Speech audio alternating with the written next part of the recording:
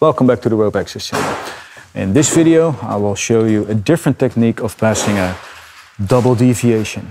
Let's get into it.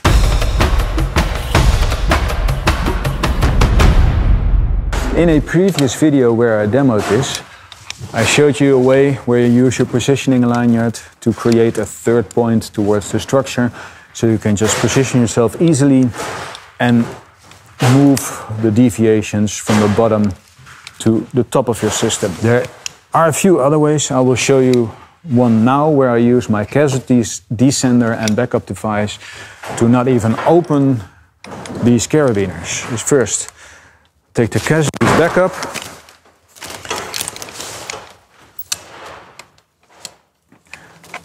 And I'm gonna put it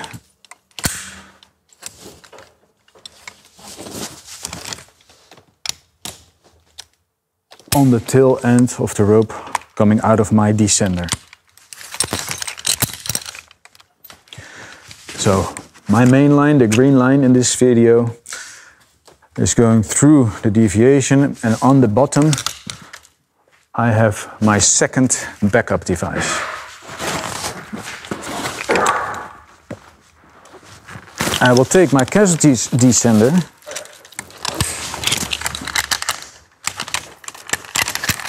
and attach it to my D-ring and to the short connection I have towards the casualty. Now we'll do the same thing. I'm gonna take the rope that's coming from my backup on top of the double deviation is gonna be my descender below the double deviation.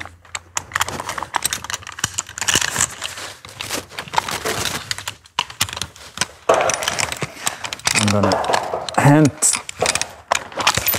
tight it. I'm gonna get as close as possible. The only room I have margin for movement is the distance between, is the length of the absorber of my backup device. So I'm gonna try to get just a little bit closer with one small swing.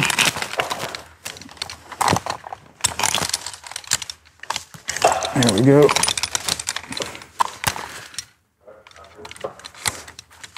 Now I continue my descent on my main line until I'm midway. So both descenders are loaded.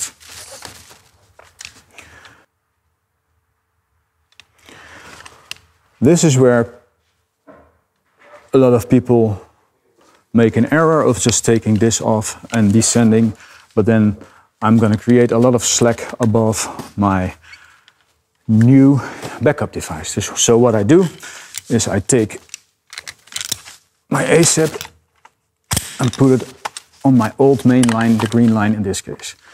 I continue my descent until I'm fully suspended from my new descender take out the friction carabiner.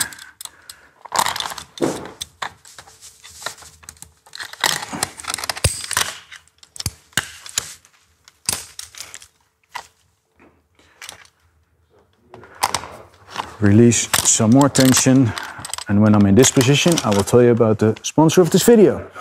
The sponsor of this video is Industrieel Klimmen, situated in the Netherlands right above Amsterdam and they have a beautiful training center where they teach any training related to working at height.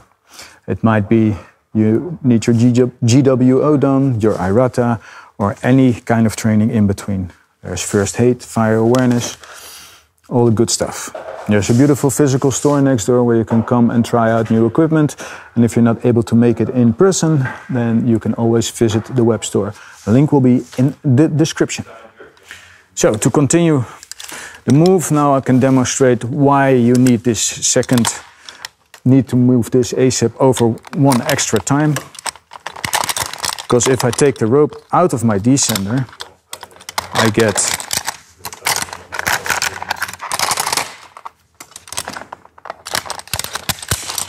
this much slack above my backup device. So that will be a pretty big fall. And right now, all the slack is out. Then I can remove my backup device. Everything is below the deviation. I get my friction carabiner. I will do some rope management. There we go. And I'm ready to descend down.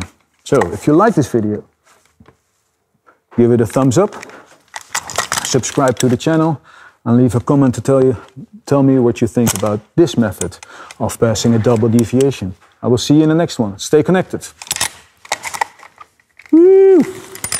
Wat hebben we nog meer?